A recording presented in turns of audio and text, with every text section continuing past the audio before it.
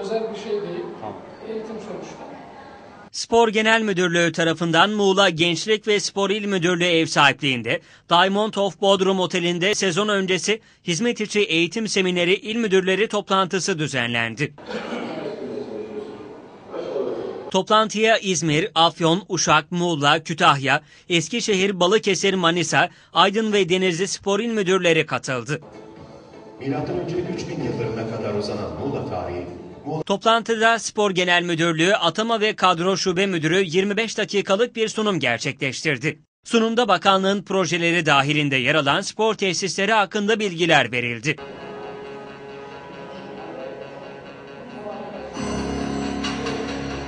Ayrıca yeni mevzuatlar ve torba yasayla ilgili yapılan değişiklikler il müdürlerine anlatıldı. her. Toplantının verimli geçeceğini ifade eden Spor Genel Müdürlüğü Atama ve Kadro Şube Müdürü Yusuf Karadal şunları söyledi. Mevzuat eğitimi yapacağız buradaki bölgemizdeki il müdürlerimizle alakalı. Türkiye'yi 81 ilimizi 10 ayrı bölgeye böldük. Bunlardan bir tanesi de Ege bölgemizdeki 10 tane ilimiz.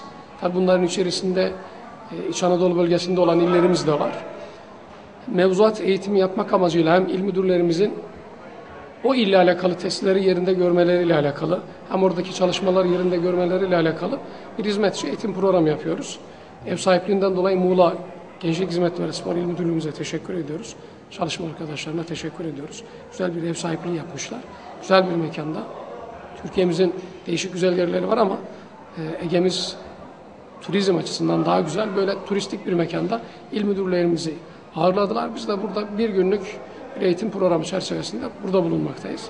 Teşekkür ediyorum. Peki e, e, bu eğitimde neler verilecek, neleri ön planda olacak? Ee, biz personel dairesini temsilen geldiğimiz için personelcilikle alakalı konular anlatılacak. 657 ile alakalı konular anlatılacak burada. Ee, mevzuat anlatılacak, görevde yükselme eğitimi anlatılacak.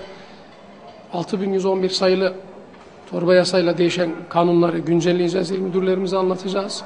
Personelimizin özlük bilgilerini güncelleyeceğiz. İl müdürlerimize kendi illeriyle alakalı yapması gereken konuları takdim edeceğiz. Muğla Gençlik Spor İl Müdürü Bekir Şeker ise toplantı 10 ili kapsayan bölgesel il müdürleri toplantısıdır.